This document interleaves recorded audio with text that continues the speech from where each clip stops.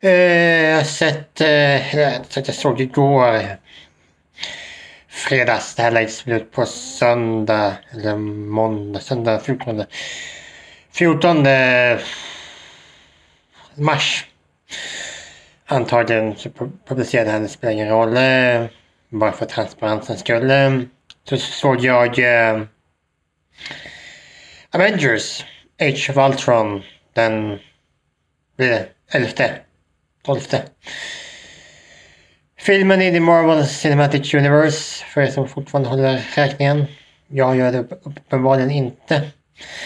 Eh, men jag gillar den här. Jag tycker den är eh, betydligt bättre än eh, första Avengers-filmen. Eh, om det märks att det har hänt mycket. Sen är det väl en hel del som man inte förstår varför saker händer. Men det är som vanligt. Men,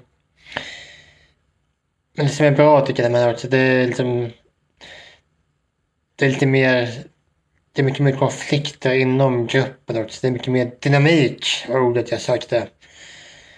För de här olika karaktärerna. Och det går åt skogen för dem då och då. Bokstavligen. Eller mindre.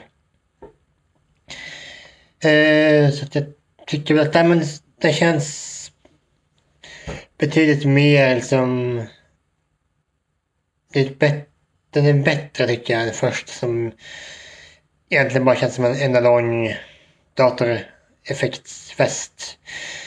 Nu har man ändå försökt få in lite, lite handling och lite story i berättelsen.